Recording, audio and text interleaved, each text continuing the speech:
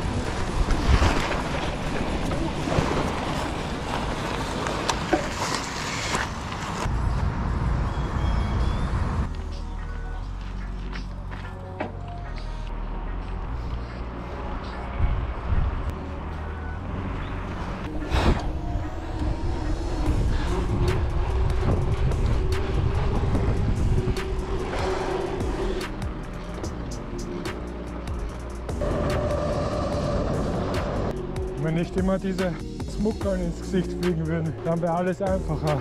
Mund immer zulassen, sonst hast du einen Eiweißschock vom Feinsten.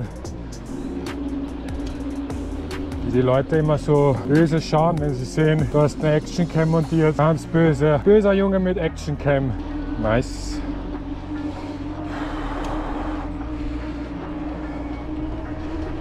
Insgesamt beträgt die Abendrunde um die 30 Kilometer, für die ich circa knapp eineinhalb Stunden brauche. Die Kids haben auch richtig Bock, richtig mal wieder die Sau rauslassen nach der Zeit. Kurze Trinkpause. So Leute, ich habe jetzt noch schnell den Akku getauscht von der GoPro. Ich chill jetzt noch eine kurze Runde. Das Bike ist auch schon wieder ärgerdreckig. Nein, ist nicht so schlimm, aber ziemlich staubig von dieser Schotterstraße und überall diese äh, Maben bei der Dämmerung. Echt ekelig. Die Reifen sind richtig. Und das sind die neuen Maxis-Reifen. Richtig geile Stoppeln. Maxis Minion. Danke nochmal an den Mountainbiker. Echt cool, ganz lieber Mechaniker und der hat mir ratzfatz meine Reifen gewechselt. Bin ich echt happy drüber. Falls ihr Fragen habt, Anregungen, Verbesserungsvorschläge für mich, ich habe da wirklich Bock drauf und will da echt mehr machen. Ich denke, es wird sehr stark in die Schiene Fahrradfahren gehen, Trails fahren, Mountainbiken generell.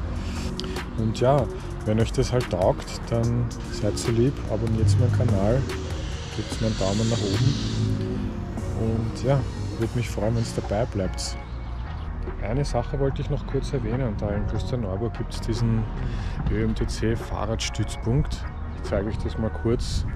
Da gibt es nämlich so Fahrradmontageständer mit diversen Werkzeugen, da fürs Fahrrad zum Montieren, Reifen wechseln, Luft aufpumpen, sonstiges. Echt cool gemacht. Also wenn du am Weg mal so eine Panne hast, kannst da kurz stehen bleiben.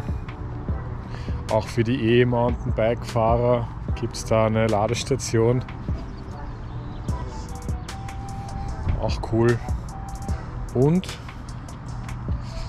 natürlich Ganz wichtig, ein Trinkbrunnen. Na gut Leute, wir weiter, sonst wird uns noch kalt. Es dämmert schon. Der Himmel ist leicht rosa am Horizont. Da sieht man eh geil rosa der Himmel ist. Oh, herrlich. Ich sag's euch Leute, so eine abendliche Bike-Tour echt mörderisch.